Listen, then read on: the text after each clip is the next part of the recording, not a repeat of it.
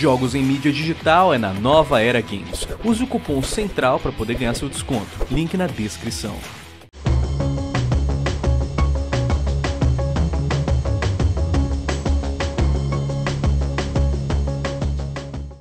YouTube tem estado numa situação bem estranha nos últimos meses. A gente tem passado por diversos problemas com monetização, recomendação, notificação, e em geral o YouTube em si tá bem cagado. Eu não sei se é por causa que eles estão colocando novos algoritmos, novos recursos, ou eles estão tentando se adaptar às novas leis da Europa que acabaram né, aprovando o artigo 11 e o artigo 13.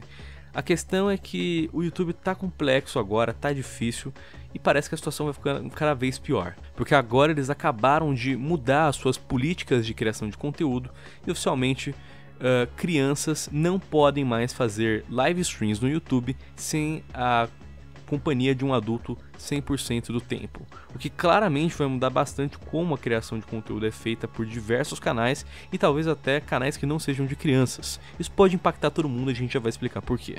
Portanto, galera, quem fala com vocês é o Leandro Central e agora eu e o White vamos debater sobre a plataforma em si do YouTube, como que essas mudanças nas suas diretrizes uh, podem afetar os criadores de conteúdo e você que está assistindo esse vídeo também, né, cara? Sim, e cara, tem também aquela questão do YouTube Game, que eles estavam tipo fechando o site, né? Uhum. Porque para quem não sabe, o YouTube Game era separado do YouTube, aí eles juntaram tudo agora porque não deu certo. E tá tudo cagado, né, lá. E essa questão de lives, de não deixar tipo menores de idade fazer lives, isso vai tanto prejudicar criadores que ainda usam um pouco o YouTube, como também afetar acho que a plataforma por, por completo assim, em questão de lives, né? Porque se você for pensar, Lion, a gente. O, YouTube já não é muito forte em lives, né, cara? Então, bom, vamos ver o que, que vai rolar aí no, nos próximos capítulos. Exato. O que está acontecendo é que essa é uma tentativa de combater problemas de crimes relacionados à exploração de menor. Como vocês bem sabem, o YouTube tem um mercado gigante para conteúdo de menor de idade. A gente tá falando de questão de, sei lá, de brinquedo, de desenho. É o que sabe? mais tem, né, na verdade. Música infantil, velho, você não para pra pensar, mas o que não falta é Peppa Pig no YouTube, o que não falta é galinha pintadinha, e aqueles desenhos russo absurdo, estranho, que tem tipo umas cópias do Mickey assim, não sei, Mickey compra é, sei lá, vende picolé pros Vingadores, tá ligado? Tem um desenho absurdo e tem milhão de visualização naquelas porra, velho. Não sei porquê. E é tudo canal infantil, sabe? É, e o Family Friendly também tá super em alta, né? Depois que eles falaram que iam querer conteúdo mais infantil, né? Sim, eles começam mais a recomendar de, demais, né? Eles têm até aplicativo para criança, velho.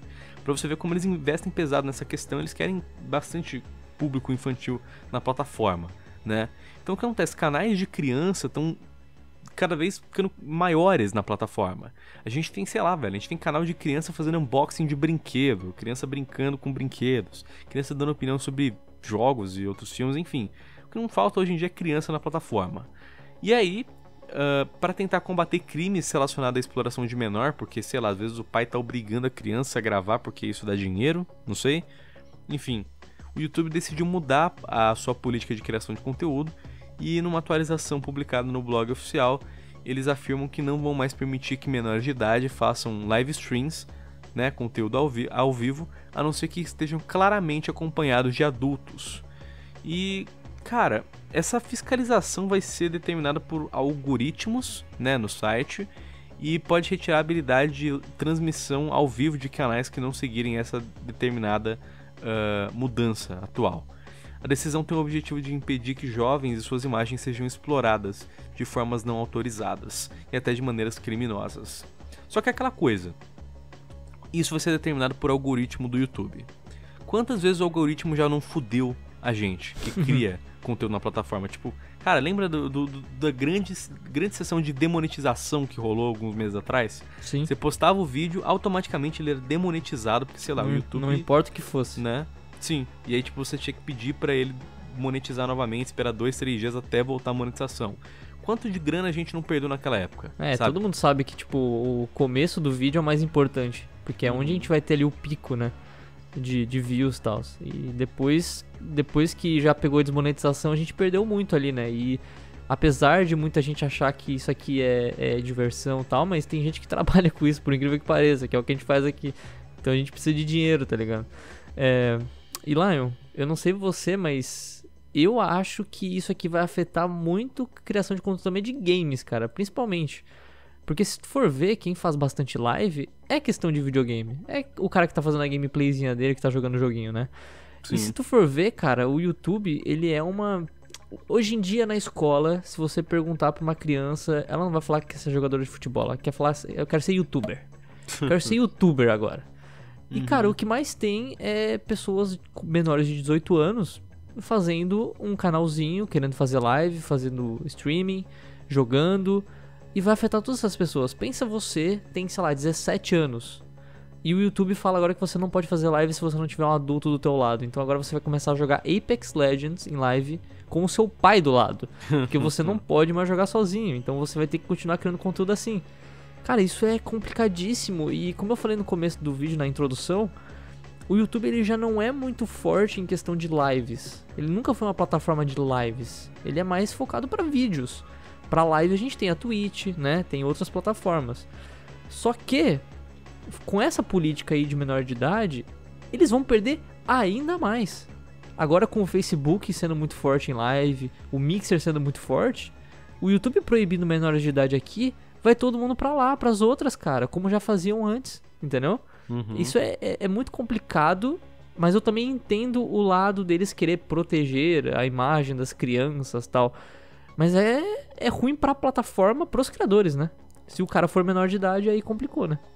Exato, é dar um tiro no pé e tentar matar a comunidade que faz esse tipo de conteúdo, justamente que é menor de idade, né, cara? Porque veja bem, não é só questão de live streams, eles também estão fazendo mudança em comentário. Olha só, YouTube vai remover o espaço de comentários em vídeos que apareçam menores de idade. Simples. Nossa. Seu vídeo tem menor de idade aparecendo, você tem que marcar lá. Se você marcar que sim, automaticamente não vai poder ter comentário. Pensa então... tu, tipo, fazendo um vlog na Disney fudeu. Já era, tá fudeu. tá ligado? Você, você não, não tem comentário no teu vídeo, porque o que vai passar de criança ali. Ou a gente vai ver um monte de vídeo de gente fazendo vlog na rua, indo no, no mercado, andando no parque, tudo borrado atrás, tá ligado? Uhum. Tudo borrado. Não vai estar tá aparecendo nada, só a pessoa, tá ligado? Não, e os caras do YouTube ainda reconhecem que isso pode prejudicar um monte de criador de conteúdo que, sei lá, depende de interação, sabe, do público, de comentários, essas coisas mas eles acreditam fortemente que isso é um passo importante para manter pessoas jovens seguras. Tipo, sei lá, cara, tem tantas medidas cabíveis e remover comentários, remover a habilidade de participar de live stream, precisar de um adulto para, sabe, deixar tudo isso em mão de algoritmo, cara, essas coisas não dão certo, tá ligado? Não dão certo. O algoritmo tipo, se você demora tiver em live, pra pegar bom. Se você tiver em live, você é menor de idade e você tá com o responsável do lado se o responsável vai no banheiro, o algoritmo vai identificar que você tá sozinho e vai bloquear teu vídeo? Não sabemos, essa questão. Pois é, como é que funciona o algoritmo? Como é que vai ser isso? Uhum. É meio uhum. complicado um algoritmo fazer isso, um robô fazer isso. Não, não tem como ele prever a, as milhões de possibilidades que pode acontecer numa live, entendeu? Sim. E você acaba abrindo brecha para coisas como, por exemplo, ele fala, né? Ele te pergunta quando você vai upar um vídeo: esse vídeo aparece menor de idade? Agora, depois dessa notícia, pode ter certeza que a maioria dos canais que criam conteúdo de menor de idade nunca mais vão marcar essa opção, justamente para não perder a opção de comentários, tá ligado? Porque a opção Sim. de comentários é uma coisa muito forte no YouTube. Você movimenta discussões, CEO, recomendação. É muito importante os comentários na plataforma. E aí, esses canais perdendo a opção de, de comentário, como é que vai fazer? Entende? Nem vai mais marcar, nem vai falar mais que tem menor de idade no vídeo, nunca mais. Por quê? Porque não quer perder essa opção. Então, você tenta resolver um problema, mas você cria um outro ainda maior. Porque agora vai ser as mentiras, a galera mentindo e não falando e falando que não tem menor de idade aqui, né? Sendo que tem. Só pra poder ter os comentários, cara. Então é uma situação de... complicada, velho. Contas que... maiores de 18 vão ser feitas. Vai ter que fazer o quê? Mandar um e-mail pro Google, um, escanear uma foto do teu, do teu documento de identidade, do CPF, para dizer que você tem maior de 18 anos? Como é que vai ser isso? É tenso, né? É, é bizarro, velho, porque de um lado eu consigo entender que o Google não quer perder possíveis anunciantes que venham a ter problemas com crianças, né? Até porque, sei lá, problemas com crianças na internet acabam sendo um problema real. Mas, sei lá, remover toda essa essa possibilidade de comentar, remover toda a questão de live stream, simplesmente pelo fato de ocorrer alguns casos negativos sobre isso, para mim é dar um tiro no pé, cara. E isso me preocupa violentamente pelo fato de que sei lá, muito do conteúdo, por exemplo, de videogames, que é o que a gente faz, filmes também, tem muito a ver com criança, né? Tem muito, muito kid que, que gosta de diversos games que a gente traz aqui alguns debates. E eu fico pensando, e aí, como é que vai fazer com elas? Tipo, será que no futuro elas não vão nem poder comentar? Será que vai chegar um momento que, tipo, menor de idade não vai poder comentar no, no YouTube por causa da, sei lá, de alguma diretriz? Até onde vai chegar essas políticas do YouTube? Até onde eles vão fazer essas mudanças? E é claro, deixar tudo todo esse tipo de política na mão de algoritmo nunca dá certo. Porque o algoritmo, eu fico pensando, velho, já pensou o algoritmo começa a pegar a gente, começa a pegar canal de vlog que não tem nada a ver, pessoas, é, com, é, criadores de conteúdo que não tem nada a ver com menor de idade e acabam sendo, tipo, proibidos de ter essas funções básicas simplesmente porque o algoritmo foi lá e, e, e, cagou, e falou, né? caguei, caguei, vou, vou bloquear você. É o que vai acontecer. Seria a, a temporada de demonetização que a gente teve alguns anos atrás se repetindo, cara. Eu é, não cara, sempre que, que, tem mudança no, no YouTube dá merda em alguma coisa. Sempre, sempre. E a gente que cria conteúdo aqui, a gente sempre fica apreensivo. Tipo a, a questão agora do YouTube Game, quando eles foram fechar o YouTube Game. A gente já tava preparado que ia dar alguma merda. Ou seja, canais começaram a ficar negativo, cara. foi dito e feito, né? Então, uhum. com certeza essas novas políticas vão ter alguma influência aí no, nos nossos canais em breve, velho. A gente vai ter que aprender a mexer com o YouTube de novo. Mexer com o YouTube é um aprendizado dia após dia. Todo dia a gente tem que se reinventar aqui e descobrir como funciona a plataforma, porque a gente nunca sabe. Exato, é, um, é, um, é uma roleta, né? Um caça-níquel aqui, porque tem dia que dá muito bom, tem dia que dá muito ruim. Às vezes não tá na mão do criador de conteúdo e às vezes não tá nem na mão do público. Sim. Às vezes é o algoritmo que vira e fala: não vou mandar esse vídeo para ninguém, sabe? E é complicado, até, cara. Até bom comentar isso, cara, porque assim, às vezes o YouTube não vai mandar vídeo para vocês. Eu vejo gente reclamando isso. Então fiquem sabendo, eu não sei se vocês perceberam, mas eu acho que muita gente já percebeu que a gente posta dois vídeos por dia. Um perto do meio-dia e um perto das seis e meia da tarde. Então sempre entre no canal nesses horários que vai ter um vídeo para você, cara. Não importa. Entra que vai ter. Exato, mas fica a nossa preocupação, né, cara? Até onde vai ter essas mudanças de política? Até onde os menores de idade vão ser afetados e vai sobrar para quem no final, né? É o algoritmo entrando cada vez mais, cada vez mais barreiras, cada vez mais deixando o YouTube mais nichado. E ele acaba perdendo essa parte do You, né? Não parece que não é mais YouTube, agora é só um tube do, do Google, tá ligado? É só Google Tube. Eles só é permitem um conteúdo. Google das empresas. Só permitem o conteúdo que eles querem. Não tem mais aquela questão de você criar o seu canal e criar o seu conteúdo que nem era antes, cara.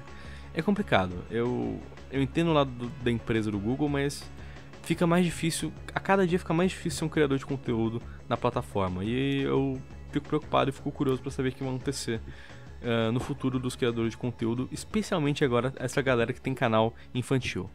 Então, a gente vai ficar acompanhando, vamos esperar por mais novidades e talvez, né, é claro, a repercussão que isso vai ter. Mas desde então a gente já fica, é claro, preocupado com essas novidades, né?